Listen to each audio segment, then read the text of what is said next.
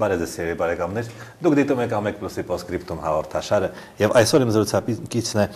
Հանրապետական կուսակցության խորհրդի անդամ պատգամավոր Մկրտիչ Մինասյանը, շնորհակալություն, պարոն Մինասյան։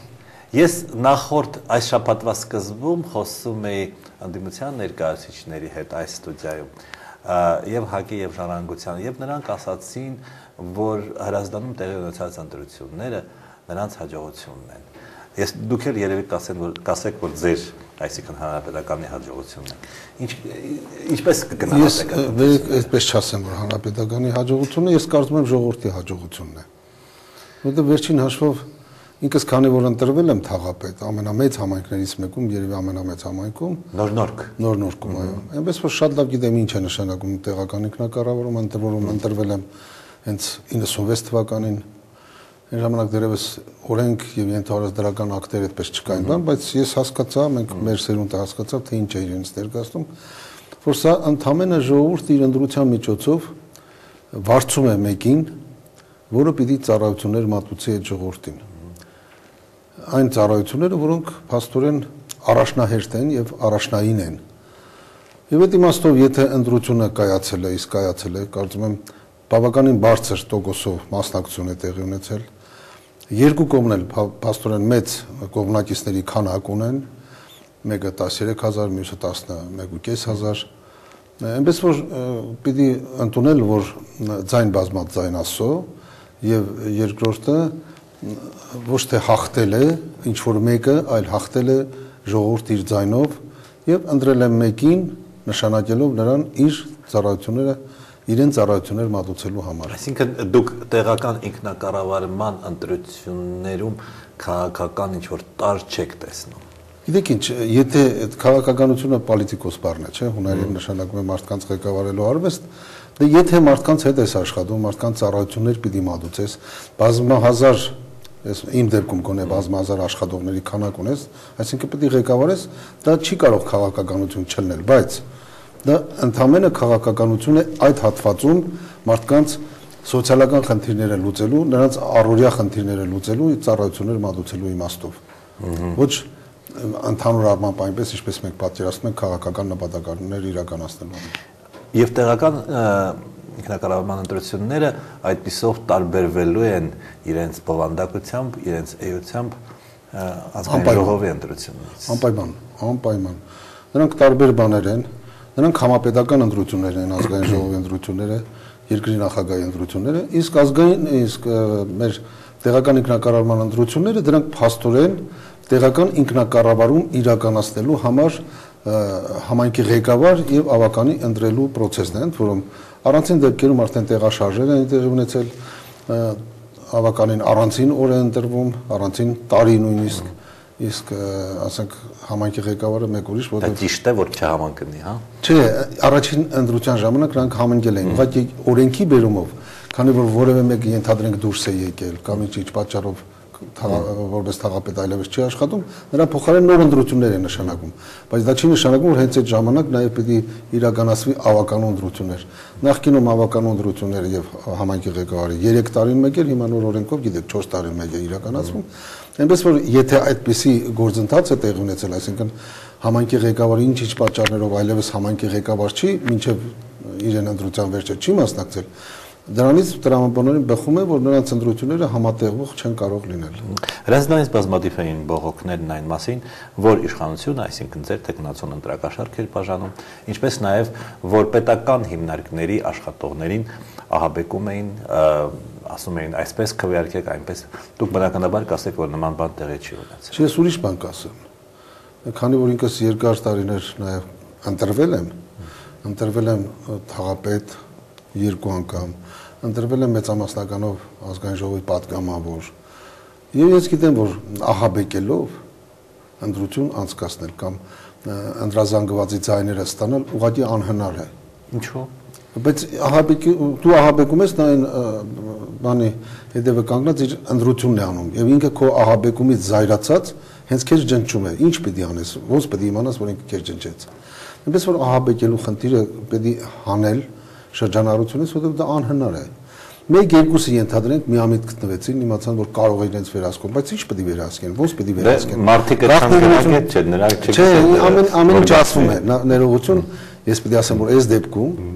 ես ու դու շատ լավ դուք շատ լավ գիտենք, թե ովքեր էին գնացել նաև Սասուն Միքայելյանին աջակցելու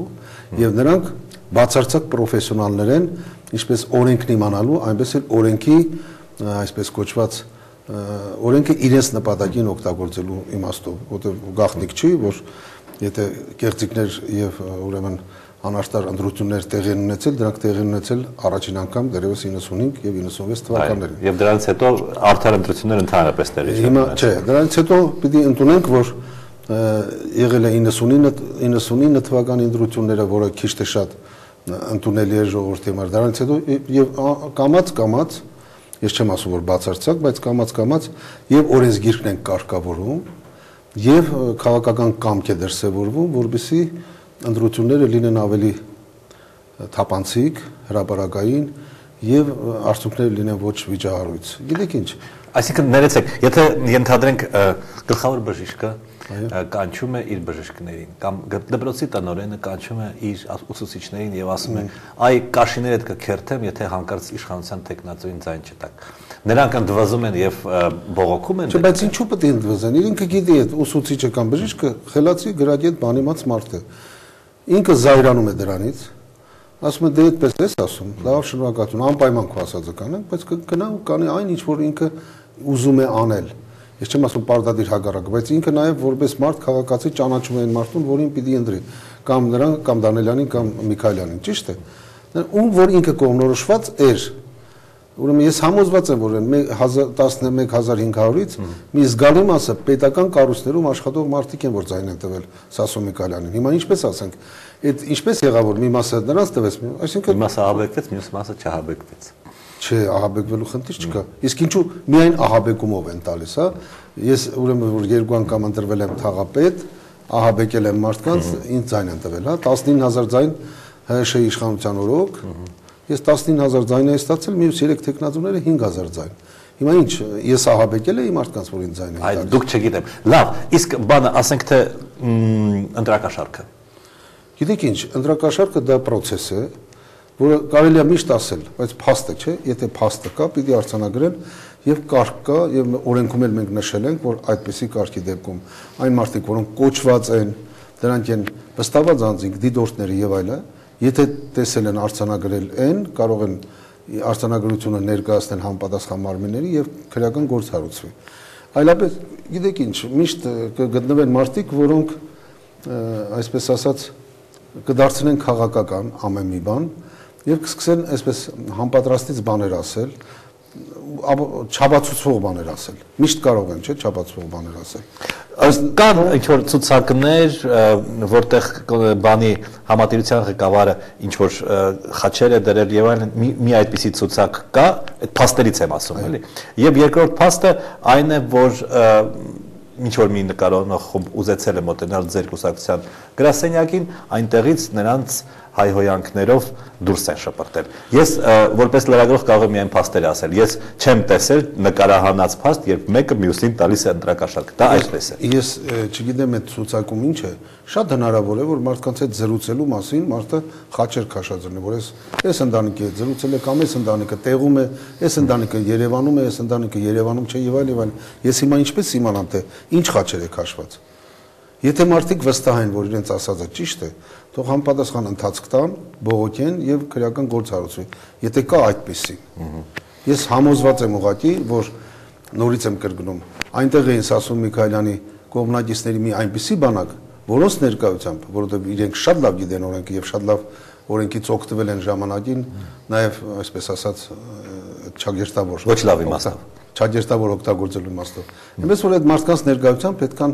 որևէ մեկը ավելի լավ չէր կարող անել այն, ինչ իրենք են անում։ Այնպես որ այստեղ համոզված եմ, եթե փաստ ունենան, անպայման իրենք կդիմեն եւ արտարությունը կվերականգնվի։ Եթե կա մեկը, որը որ արչի ծառայություն է մատուցել, ինչ է պատահել։ Թող գնա իհարկե։ Ա, Դառնալով երեկվա լսումներին, հա։ Այնուամենայնիվ ձեր կուսակցությունը նույնպես եւ ձեր կուսակցության ներկայացուցիչ Դավիթ Հարությունյանը ասաց, որ քաղաքական համակարգը կարիք ունի կտրուկ բարեփոխումների համամասնական մեծամասնականի մասին էր խոսքը, բայց նա ավելի ընդհանուր ասած եւ նոր կազմը ազգային ժողովի պետք է ձեռնմուխ լինի այդ փոփոխությունների ընդཐུպ մինչև սահմանադրության փոփոխության։ Դուք համաձայն եք այդ կարծիքին։ Կտրուկ բառը չեմ հիշում ասած թե չէ, այսօր ես ճիշտ ասած նայեցի նաև լրատվության միջոցներով։ Արմատական, ասենք թե։ Մի խոսքով իր եզրակացություններ, որովհետև իմ ելույթում էլ որոշ եթե լսել եք, ես էլ եմ ասել, որ այստեղ խորելու բան կա, խորելու բան կա, բայց ես այն կարծիքին եմ, որ եթե կա խնդիր, այդ խնդիրը իհարկե պետք է քննարկվի։ Իսկ խնդիր կա այնքանով, որ մեր քաղաքական օպոնենտները ուղղակի իրենց շահերից ելնելով, կուսակցության նեղ խմբական շահերից ելնելով ենթադրում են, որ աշխարհում արդեն գտնված է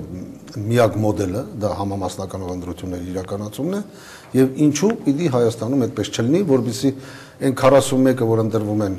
հա մեծամասնականով այդ մասնաբաժինն էլ նորից եթե իրենք 7% են վերցրել այդ 7%-ին գումարվի նաև 41-ի 7%-ը եւ այլ այսինքն իրենք երկու պատգամավոր ավել ունենան սա է խնդիրը բայց որևէ մեկը դեռ չի կարողացել ապացել չէ որ միակ ճշմարիտը համամասնականն է տեսականորեն բնականաբար եւ սա կարող է լինել եւ սա քաղաքակիրթ Եվրոպայում նույնպես կա եւ համամասնական եւ մեծամասնական եւ խառը կարծում եմ խառը իսկապես կարծում եմ խառը որ ավելի արտարացված է մեր պարագայում, ինչու։ Նախ մենք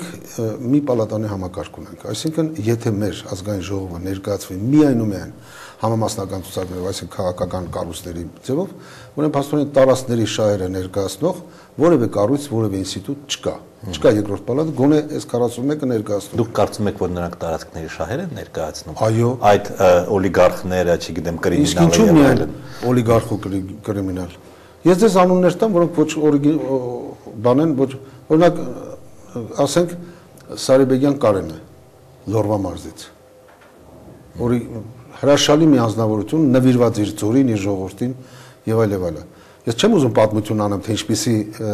մարդկային կերպար է ինքը, որովհետեւ դա հոգեցունց բաներ է։ Հետաքրքիր, եթե հերոստատողը չի ճանաչում երկու բառով ասեք։ Նա երկու պատերազմի մասնակից է, հաշմանդամ։ Ունի բազում երեխաներ եւ մեկ երկկողմանի ծնողազորք երեխայի որտեգրել է եւ իր տանը պահում է բոլոր զոհված ազատամարտիկների եւ հաշմանդամ ազատամարտիկի երեխաների ուսման վարձը ինքն է փորձում բիզնեսով չի զբաղվում ինքը բիզնես ունի այնտեղ ինքը չէ եղբայրն ունի մի խոսքով իրենց ընտանիքն ունի ավելին փորձում է բոլորի հոգսերը հոգալ մի շարք հատկապես սոցիալապես անապավ խավերի հետ առնչվող բոլոր օրենսդրական նախաձեռնությունների ակտիվ մասնակից է։ Մեկ ուրիշ անունը տամ Հրանտ Գրիգորյան, որի շատ լավ ճանաչում եք ըստ երևույթին, գեներալ Մանվելի։ Մանվելի եղբոր տղա։ Նա էլ օլիգարխ չի։ Նա էլ օլիգարխ չի։ Չափավոր Չափավոր օլիգարխ։ Չափավոր մարդ է, հրաշալի անձնավորություն։ Իր համայնքում եւ իր անդրատարածքում հարգված անձնավորություն։ Այդքան է իր ընտանիքը ահաբեկել իր իր տարածքը, դրա համար է երևի հարգում։ Չգիտեք ինչ, եկեք շփոթենք տարբեր բաներ իրար հետ։ Այդ մարդը ոչ մի ահաբեկման հետ ոչ մի առնչություն չունի։ Ինքը իր տեսակով բարեկիրթ, հանգիստ, խաղաղ, մարդկանց լսող, մարդկանց օգնող, աջակցող մարդ է։ Հաջորդը Կոյրուն Նահապետյան, երիտասարդ, փայլուն իրավաբան, մեծամասնականով ընտրված լավագույն լավագույնս ներկայացնում է մեր օրենքները եւ Ալեքսանյանի բարեկամը մեկն ու մեկի բարեկամը պետք է լինեմ ես էլ ինչ-որ մեկի բարեկամն եմ դուք էլ եք ինչ-որ մեկի բարեկամ ինչ կապ ունի դա նորմալ երևույթ չի երբ որ բարեկիրթ գրագետ անձնավորություն է հայտնվում ազգային ժողովում մեծամասնականով ինչ վատ բան կա դրա մեջ դա ընդհանրապես պետք է ողջունել Այսինքն այլ 41 հոգին եթե 1-2-ը 1-2-ը ենթադրենք այն ձեր ասած չափանիշներին են համապատասխանում Բացարձակ մեծամասնությունը համապատասխանում է իմ ասած չափանիշներին։ Նրանք կայացած մարդիկ են եւ հարգված մարդիկ են իրենց տարածաշրջաններում եւ այդ հոգսերը իրենք բերում են։ Ասեմ ուրիշ մեկի անունը, որը մեր կուսակցունից չի։ Սամվել Բալասանյանը, որը գարեջրի գործարանի տերը։ Գործարանի, հա, սեփականատ, բայց նորից այդ ամբողջ տարածքում, որտեղից ինքը ընդրվում է, հարգվում է եւ ընդում արդեն երրորդ թե չորրորդ անգամ ընդրում է падգամավոր։ Ոչ մի ահաբեկում չկա։ Վարագյանը, Մխիթար Վարագյանը Ինչ ահաբեկել։ Նորմալ հանգիստ խաղաղ մարդիկ են, ինչ ահաբեկել, ինչու պետք է ահաբեկել։ Չէ, միայն ահաբեկերը չէ։ Նրանք նայում են, հա, կտուր են սարքում, չգիտեմ, փող են բաժանում ամբողջ 4-5 տարվա ընթացքում, ոչ թե հիմա։ Եվ ժողովուրդը նրանց ինչ որ մի մասը շնորհակալ է։ Նրանք օրենսդիրներ են դրանով դառնում, հա։ Ներողություն ասեմ ձեզ։ Նախ օրենսդիր ասելով, մենք падգամավոր ասելով չպետք է ընդունենք, որ միայն լիագումարնիստի ժամանակ խոսացողներն են падգամավոր Պատգամավոր նշանակում է հանձնաժողովի աշխատանքների մասնակցել, պատգամավոր նշանակում է հատկապես մեծամասնականը իր ընդրատարածքում մարդկանց լսել, մարդկանց հոգսերը ոչ միայն կենցաղային, այլ նաև քաղաքական եւ իրավական հոգսերը ներկայացնել պետությանը եւ փորձել այդ հոգսերի լուծում արտարացի լուծում ստանալ։ Սա է իմ կարծիքով մեծամասնականով ընտրվող պատգամավորը, որտեղ ի տարբերություն ուրիշների ես մեծամասնականով եւ համամասնականով ընտրվել եմ եւ գիտեմ ինչ է նշանակում մեծամասնականով ընտրված падգամավորի անձնական պատասխանատվությունը իր ընդրողների արժեվ։ Այսինքն նա տարածքի բարեգործն է, այսպես ասած։ Ոչ միայն բարեգործը, մարդը, որը լսում է մարդկանց, հոգսերը լսում է եւ եթե դրանք պետք են բարձրացնել իշխանությունների արժեվ, բարձրացնում են։ Մեր հարցուպատասխանների եթե ներկայ եք լինում, լսում եք, հարցուպատասխանների մեծամասնությունը ոչ թե անձնական բնույթի են, դրանք հիմնականում ընտրատարածքների խնդիրներն են բարձրացնում եւ փորձում իշխանության կողմից լուծումներ ստանալ։ Լավ, մի մի խոսքով հա, համենայն դեպս այս երկու ամսում որևէ բան փոխել հնարավոր չի։ Հաջորդ ազգային ժողովը եթե ցանկանան դրան անդրադառնալ, թող անդրադառնա։ Համաձայն եք։ Իհարկե։ Ես երեկել եմ իմ ելույթը սկսել եմ նրանից, որ ես լինելով հանրապետական կուսակցության անդամ, խորհրդի անդամ, ինքս կողմ եմ այս քննարկումներին։ Ինչու՞։ Որովհետեւ վերջապես մենք հասկանանք ինչի մասին է խոսքը եւ ոչ միայն մենք ժողովուրդը հասկանա, որովհետեւ վերջին հաշվով եթե մի խնդիր բարձրացնում ենք, ուրեմն պիտի նախ եւ առաջ մտածենք ինչ ենք բարձրացնում, ինչի համար ենք բարձրացնում եւ ինչ նպատակ ունենք։ Եթե նպատակը մեկն է, ինչպես որոշ ամբագորգորեր եք հայտարարություններ անողներ, եկան իրենց հայտարարությունը արեցին ու թողեցին գնացին ու չլսեցին մեզ, մյուսներին, թե ինչ են ուզում ասեն, չէ։ Եթե եկել եք լսելու, ուրեմն երկու կողմերն էլ պետք է լսենք, չէ։ Մարդիկ ասացին իրենց խոսք ու թողեցին գնացին, այդպես չի լինում, չէ՞։ Այնպես որ այստեղ ես կողմնակից եմ իհարկե քննարկումներ անելուն, ավելին ես կողմնակից եմ ոչ միայն խորհրդարանում լսումներ անելուն, այլ նաև իդ հարցը քանի որ չափազանց կարևոր է, ուրեմն նաև ժողովրդի կամքը հարցնելուն։ Շատ լավ։ Եվս մի հարց շատ կարճ արտակարգ իրավիճակի մասին օրենքում, որը ընդունվեց, հա, վիճահարույցը բանակի օգտագործումն է մնացած հարցերում կարծես թե կոնսենսուս կա բանակի օգտագործումը եւ 2008 թվականի մարտի 1-ին եւ դրանից առաջ միշտ դժգոհություններ առաջացնում հիմա դուք որպես օրենսդիր բացում եք դրա ճանապարհը նորից ես ես իշքան ինքս իրավաբան չեմ բավականին ծանոթ եմ իհարկե օրենքին իշքան նաեւ քննարկել եմ իրավաբանների հետ պիտի ասեմ, որ դա գործում է միայն համանadrական կարգը խանգարելու եւ պետության պետության հենասույները քանդելու պարագայում խաղաղ ցույցերի եւ այլ ժամանակ բանակի օգտագործումը բացառվում է չկա այդպեսի կետ այդպես հնարավորություն չկա դեմությունը միտինգ է անում ասում է կորչի իշխանությունը դա համանadrական կարգի խախտում է թե չէ համանadrական կարգի խախտում չէ վտանգ համանadrական Սահմանադրական կարգին վտանգ չի ներկայացնում, եթե ասում է կոչում է։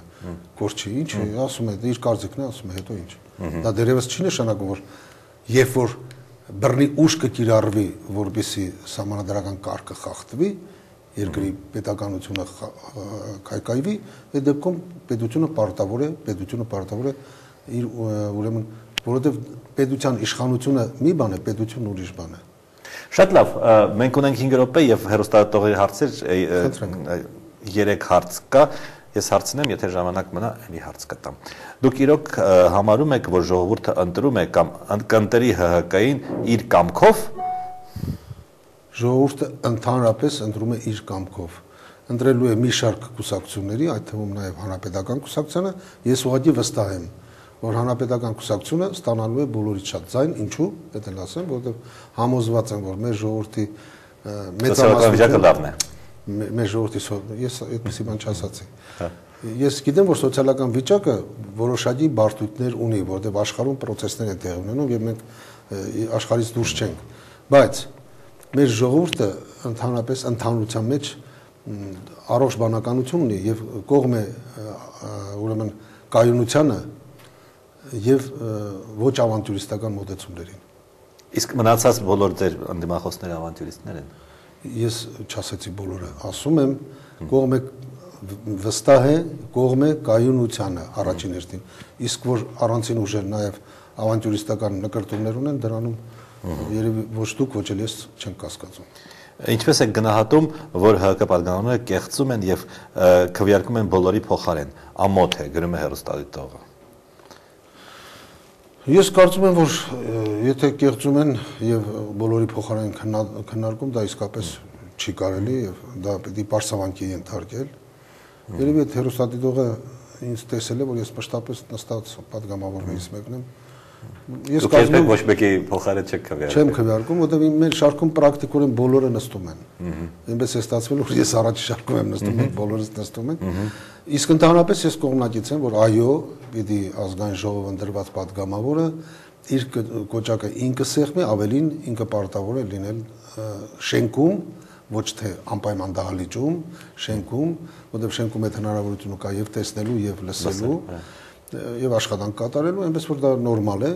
բայց երբ կարիք կա, ուրեմն 2 րոպեից, հա, երբ հայտարարում է ինքը իր աշխատասենյակից կարող է գալ ուրեմն դահլիճ եւ քվեարկությանը մասնակցել եւ այն ինչ որ ինչի ինչը որ քննադատում է մի փաստ մի փաստ ընդհանրապես դարձել է, այսպես ասած Դե այդ մի անգամ է եղել, մի քանի անգամ եղել է այդ։ Չէ, հիմնականում էս վերջի անգամ է եղել։ Դե այդպես մենք այդպեսի քվորման խնդիր չենք ունեցել, հավատացեք չի եղել։ Ես չեմ հիշում, որ գոնե ես ազգային ժողովում 4 գումարման, որ այդպեսի խնդիրներ էր։ Մի հարց դուք մասնակցել եք այսօրվա Վարդանանց երթին։ Ոչ։ Հա։ Ձեր անձնապես ձեր մասին է ուզում վերջին հարցնեի, մասիվում նոր-նոր հա համայնքում ձեզ հարգում են, դուք կարող եք երևի այնտեղ դնել դեր տեխնացիոնը մեծամասնականով։ Այդպեսի բան կլինի թե չէ։ Ես կարծում եմ, որ ես դրել եմ իմ տեխնացիոնը մի ժամանակ, երբ գործազուրկ էի, 6 ամիս չէի աշխատում ու ի պատիվ իմ ժողովրդի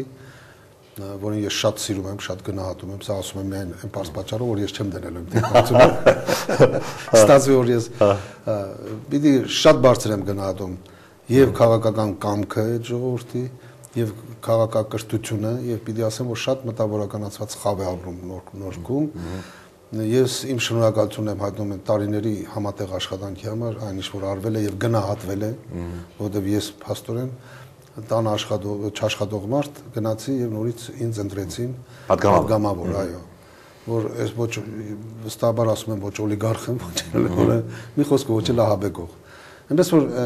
հիմա այդպիսի ցանկություն ես չունեմ ինչու։ Որովհետեւ դա բազում բազում խնդիրներ է ցակ։ Գիտեք ինչ,